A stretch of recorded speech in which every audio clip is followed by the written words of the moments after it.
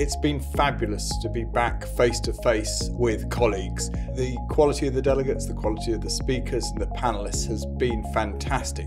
There's been a real debate amongst our delegates about what needs to happen, when it needs to happen, and a real sense of enthusiasm. This is their time and they need to make the most of it, and that's what the summit's all about.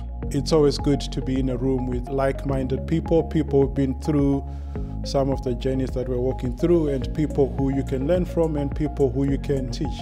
And it's really good to network because at times uh, in the NHS we've got common problems, so our solutions are common as well. It's really helpful for me to, to hear the views of the people who are you know, working really close to the point of care because you get a different perspective on what the real challenges are. So the conversation, the mutual understanding is, is massively important. Digital literacy, I feel that it's key in these conferences to focus on obviously the technology, the transformation, the innovation, but more importantly, the skills or the literacies that people need to be able to utilize the rest. This is an agenda where the whole leadership of an ICS needs to come together and make those changes, whether it's the technology lead, um, the clinical leads, the operational leads, all need to come together. So it's a huge change agenda that they need to be completely aligned on.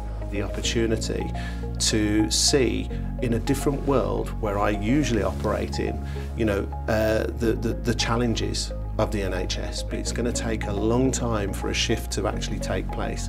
Whereas in private sector, that level of change is a lot more nimble and perhaps a lot more uh, efficient because of perhaps lesser bureaucracy and, um, and compliance. We need to keep reinforcing the importance of digital in helping make change happen. And I think the HSJ can play a key role in keeping that conversation alive.